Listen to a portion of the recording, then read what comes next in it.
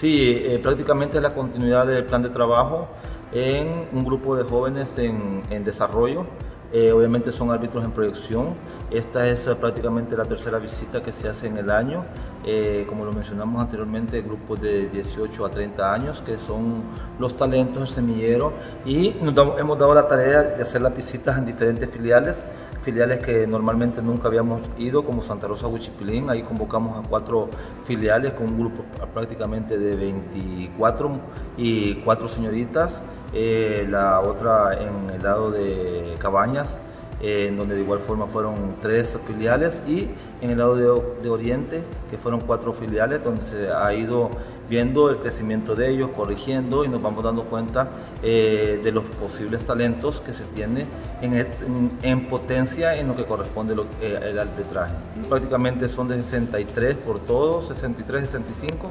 y eh, obviamente esto es como una preselección que durante lo que corresponde el año eh, vamos a, terminar, a buscar a los más idóneos para cada categoría en su desarrollo, obviamente porque hay de diferentes edades y algunos que ya tienen un poquito más, más, más experiencia. Tenemos el curso de aspirantes a árbitros que se inició prácticamente hace un mes eh, y, unos días. Eh, esa es otra parte de que hay que darle seguimiento, lo que corresponde este mes eh, de junio, julio, nos daremos la tarea de visitar también todo el país, en todas las filiales, de ver el desarrollo, obviamente con, con el apoyo de lo que son los instructores de cada filial que están trabajando.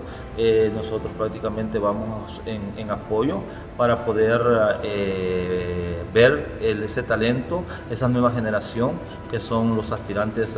para lo que corresponde el 2022. Eh, obviamente es una carrera muy linda, muy apasionante, en donde le abre muchas puertas a uno en todo lo que corresponde en la parte de social. Y si alguien está interesado obviamente en, lo que conocer el arbitraje, eh, las puertas están abiertas en diferentes departamentos, diferentes colegios para poder ah, iniciar una nueva profesión que obviamente da muchos beneficios. La verdad es que estamos muy contentos, tanto a nivel nacional como a nivel internacional. Eh, la filosofía que nosotros hemos tratado, la manera de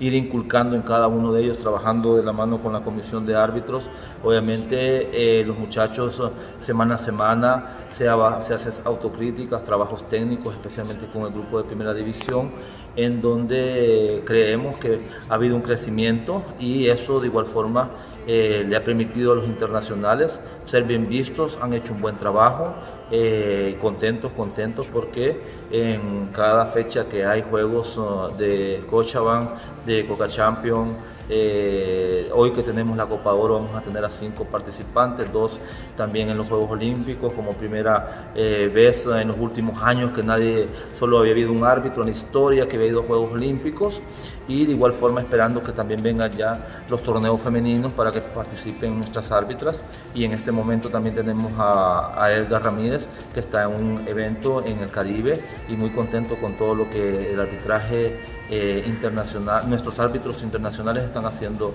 afuera.